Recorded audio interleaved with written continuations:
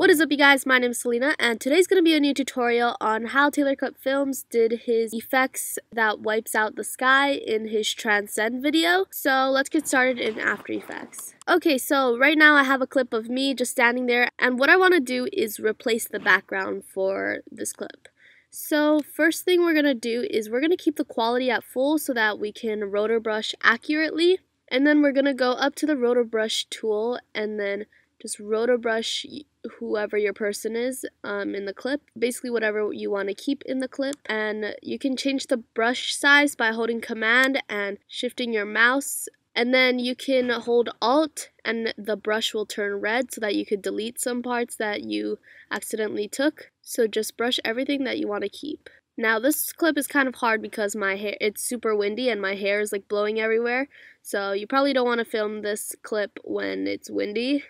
Okay, so then you're going to press command and the right arrow key and just keep going frame by frame until however long you want the clip to last. And then you're just going to make sure that the roto brush just covers everything that you want to keep. Okay, so once you've scrubbed through and have selected all your roto brush frames, then we can just go back to the regular composition and you can see that the whole background is blacked out because we got rid of all of it. Now what we want to do is just feather it a little so that the edges aren't so harsh and you can also shift the edge because you might have that blue sky outline and you can also reduce chatter just so that the clip just looks a lot more cleaner and smooth. Now because After Effects is going kind of slow for me because I'm recording my screen at the same time, I'm just going to keep the quality at half, but you're going to want to keep that quality at full the whole time.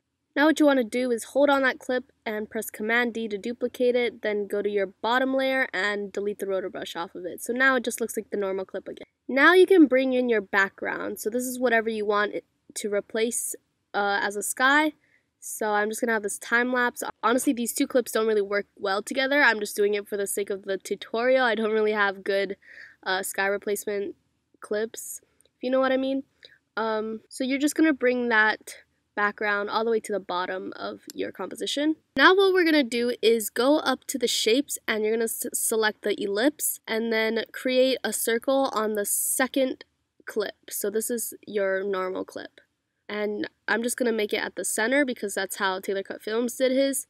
And then we're going to go down to the mask properties and we're going to feather it a lot. So I'm going to about 400.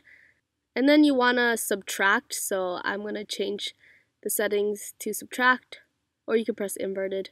And then at the beginning, we're going to keep the mask expansion all the way down so that we see the normal clip and press the keyframe button and then go to where you want the sky replacement to end and we're going to bring that expansion all the way out so we see the whole bottom clip now. So now you can see that it nicely blends out. Now this looks pretty good already, but TaylorCutFilms adds like some sort of like white effect I saw. It kind of looked like clouds. Um, so I'm to try to replicate it. So we're to go up to layer and we're to press new solid and we're to make sure that it is white and then we'll just press OK. So now we have a solid and we're going to bring it down to the third line. And then we're going to go to that mask that we made on our second clip and we're going to Command C to copy the mask and we're going to paste it right onto the solid so it has the exact same settings in the beginning. So now you can see it has a sort of white outline. If you sort of offset the white solid keyframes from the other mask keyframes, then you'll see more of the white effect.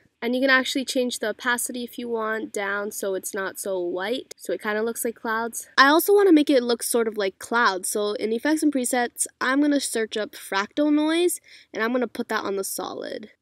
So now it kind of looks like clouds, but I want to adjust some of the settings. So we're going to bring the contrast down to like 40, and then bring the brightness up so it really looks like a white flash.